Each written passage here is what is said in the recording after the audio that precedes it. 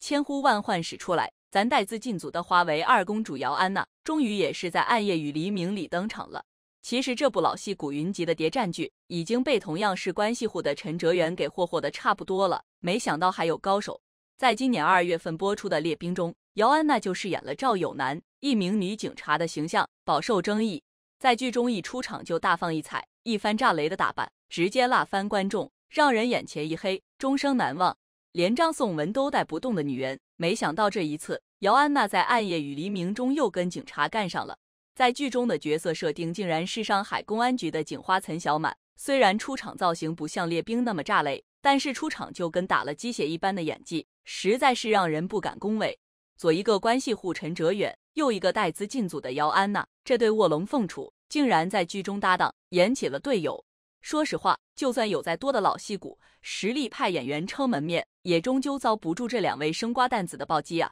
那么最新的《暗夜与黎明》剧情中，姚安娜的加入后，究竟发生了什么故事，让观众议论纷纷，频频登上热搜？接下来就让我们跟着最新的剧情。一起来看看一脸苦相的姚安娜是如何在剧中演上海警花的吧。没演技就别在剧中挑大梁了。《暗夜与黎明》几集看下来，给人的感觉就是整体的剧情节奏放缓了下来，已经开始聚焦解放后人民公安成立初期的破案探案的故事情节中，而且还主要围绕着陆正阳聂远士和纨绔少爷林少白陈哲远是俩人在演。没想到这人民公安的编外人员林少白上班前脚刚刚迟到。正被陆主任在训斥写检讨呢，后脚新来的警校毕业分配过来的校花岑小满来报道的第一天，竟然也迟到了。二公主姚安娜一出场，就又是一副雷厉风行的感觉，顶着那张苦大仇深的神情。不知道为什么，越看姚安娜，感觉她的演技永远都是在刻意用力做作背台词硬演。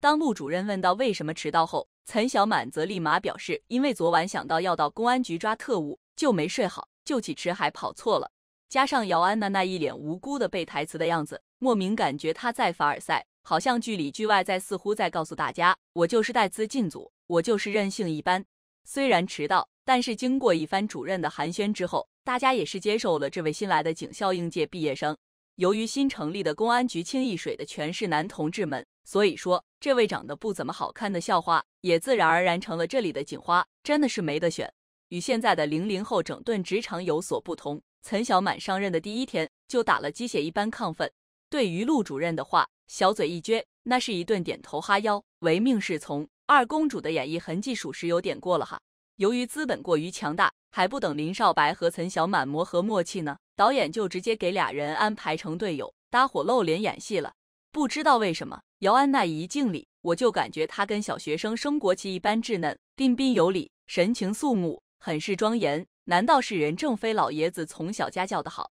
由于剧情里的人设，姚安娜饰演的是一名理论知识强悍、推理逻辑高超的警校高材生，所以咱的二公主就演成了一板一眼、神速狂背导演给的台词，全程没有感情分析案件的样子。感觉姚安娜在演这一段案件分析的时候，真的是下足了功夫在背台词。从两眼倦怠、一脸苦相、没表情起伏的表现来看，真的不知道姚安娜在戏里戏外经历了什么，才演的这么苦大仇深。甚至一旁的关系户陈哲远都知道，刻意做作的摆出一番震惊的表情来附和。虽然有点尴尬，但是在表情管理这一方面，咱的二公主真的向陈哲远看齐了，说的是反话，别当真。随后，经过一顿操作猛如虎的分析后，陆主任还真就带着林少白和岑小满给破了案了。没想到这一个案子竟然是一个涉及大儿童不宜的案件，所以在剧情中又奉献了一个史诗级的名场面。由于案件主任好色，所以现场就被咱的警花岑小满发现了端倪，并提问陆主任为什么洗个澡会特别累啊？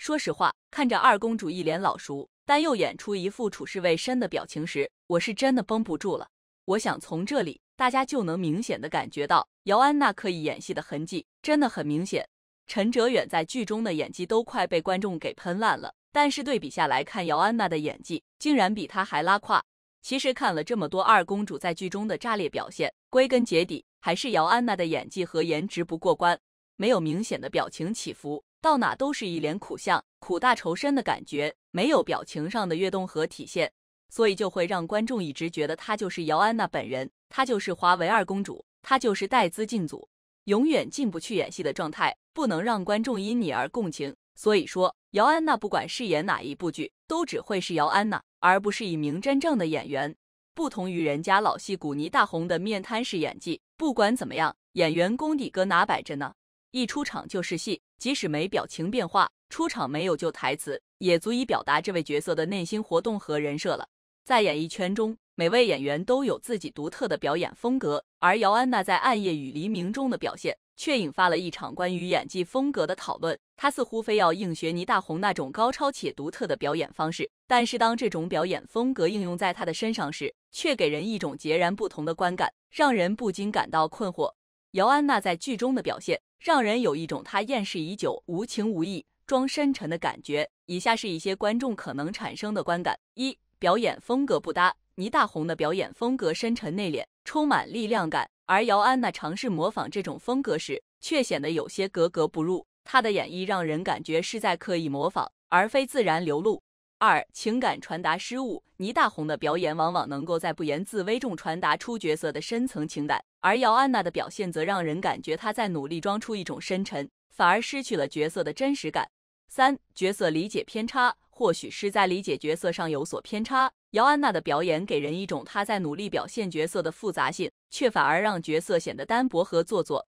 这种表演方式让观众感到非常无语，甚至有人表示看不懂。以下是一些观众的犀利评价：一、姚安娜的表演让人出戏，她似乎没有找到适合自己的表演风格，而是在刻意模仿他人。二、倪大红的表演是浑然天成，而姚安娜的模仿则显得生硬，让人难以产生共鸣。三演员应该根据自己的特点去塑造角色，而不是盲目模仿他人。姚安娜的尝试让人感到遗憾的是，她没有展现出自己的特色。虽然批评声音不少，但我们也要认识到，演员的成长需要时间和空间。姚安娜敢于挑战不同的表演风格，本身就是一种勇气。希望在未来的作品中，她能够找到更适合自己的表演方式，展现出真正的演技魅力。同时，我们也期待她能够从这次的经验中吸取教训，不断进步，为观众带来更多精彩的表现。结语：《暗夜与黎明》这部作品自开播以来就备受观众关注，其中姚安娜饰演的二公主角色更是让人眼前一亮。在此，我想和大家探讨一下二公主姚安娜的炸裂亮相出场，不知道大家看了之后有何感想呢？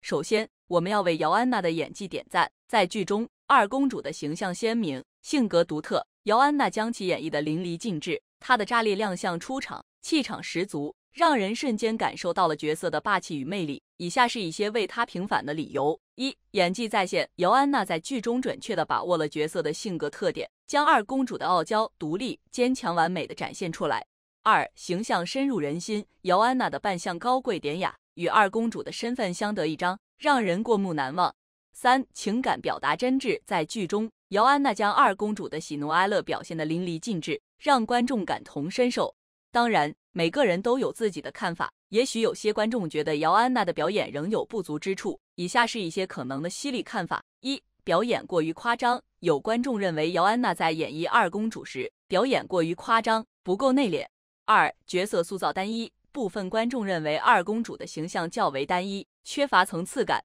三、台词功底不足。有人指出。姚安娜在台词表达方面还有待提高，有时显得不够自然。在此，我们欢迎大家各抒己见，一起探讨二公主姚安娜的炸裂亮相出场。无论是为她平反，还是提出犀利看法，都是对演员和作品的关注与支持。让我们共同见证姚安娜在演艺道路上的成长与蜕变吧。评论区见。